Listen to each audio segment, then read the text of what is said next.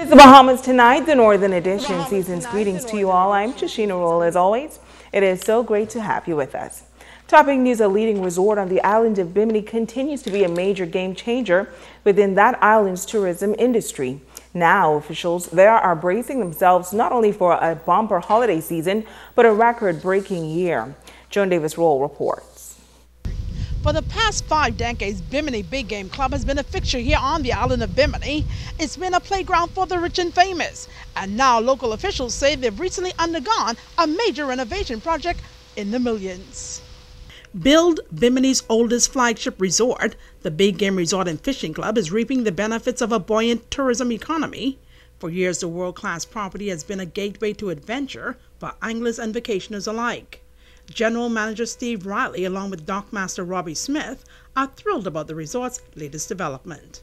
Well, we're just uh, finishing now a major renovation project, not only putting in a new seawall, new docks in the marina, but renovating all of the rooms, uh, new furnishings, uh, new kitchen equipment, for basically top to bottom, even a brand new swimming pool. We want to keep it in the same size. We're still a 51 room property with the uh, 75 marina slips and also keep it in the same traditional Bahamian Bimini feel um, from the decor that we're doing to the style of the property. We want to make sure that people know when they're coming to Bimini, they're coming to the true Bahamas here at Bimini Big Game Club. I'm really excited because uh, they put six million into the Bimini Big Game Club, and now the marina, it's upgraded.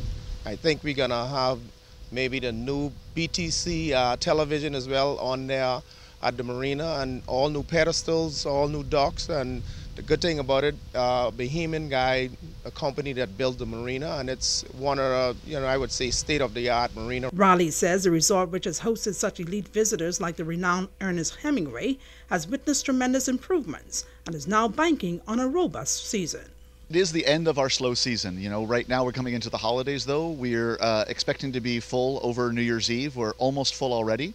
We've started running some Bahamian specials as well with a bed and breakfast special. So we're getting people coming over from Freeport and Nassau um, as sort of a, a quick getaway. Um, and then um, February we're uh, we're starting with our groups. We get dive groups coming in now for the Great Hammerheads. We've got a yoga group that's already booked that's actually buying out the whole resort for nine nights. So occupancy for 2016 definitely definitely looks great.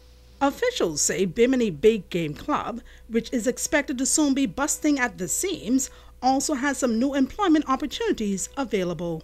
We actually just put up a posting um, accepting applications for all departments because right now we have nearly 60 employees, um, but for example, we, um, in addition to our main Bimini, uh, the bar and grill, we have a Sharky's bar that we opened at the south end of our marina, and we plan on opening it uh, five days a week. So we're bringing on additional uh, food and beverage staff as well as uh, managers for different departments as well.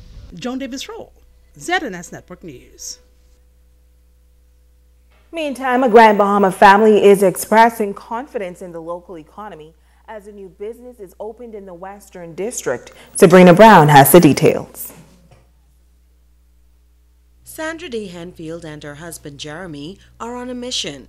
They recently opened Breakthrough Christian Bookstore and Gifts in Martintown 8 Mile Rock. But she says it's more than a commercial store, it's a ministry. The idea was imparted to me several years ago when I had experienced some personal events in my life. And the birth but the birthing of the bookstore came about by me going into a, another bookstore and by me reading the literature that they had. So the bookstore is like a ministry for me to help people. You have a lot of hurting people out there who's going through so much stuff.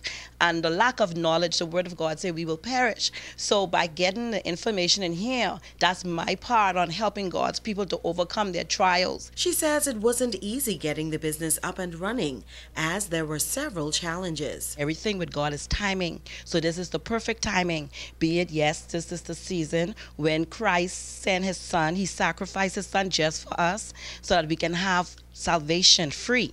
So, what better opportunity to open up at this time instead of purchasing a phone or an iPad or you know any other gift? What about a Bible or a nice devotional for your loved one? The Christian store comes at a time when many small businesses continue to struggle to survive, but Henfield is optimistic. When we traveled to pick up all the stuff we ordered, we were robbed.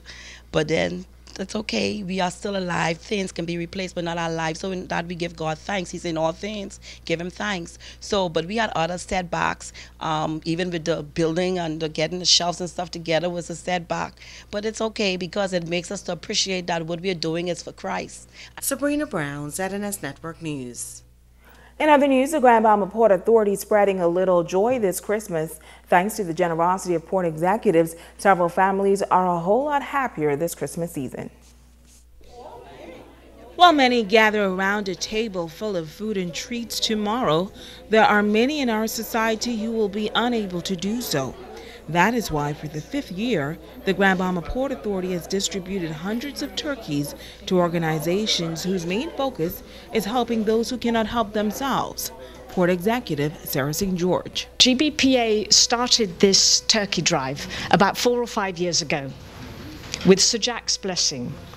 And I'm very happy to say that we've extended it this year to all five, six Homes for the Elderly in Freeport, the Council for the Disabled, the Children's Home, and Columbus House uh, for young boys and girls. All these organizations will be sharing not just 100 turkeys like last year, but 150 turkeys.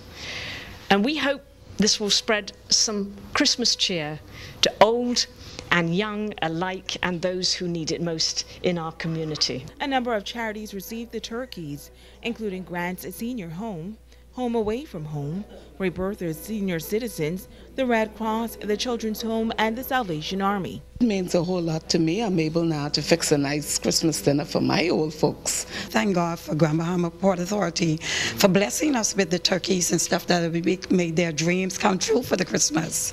This donation means a lot to us. Um, they've made us to get used to it now, and I look forward to it. During the season, the donation will go very far because we feed 53 plus persons every day. So we'll be able to feed our Meals on Wheels recipient and we'll also be able to give a few ham or turkey to the less fortunate. And I just want to thank the Grand Bahama Port Authority for giving us such a wonderful donation and I wish everyone a Merry Christmas. And during this Christmas, St. George says we should never forget the true meaning of the season.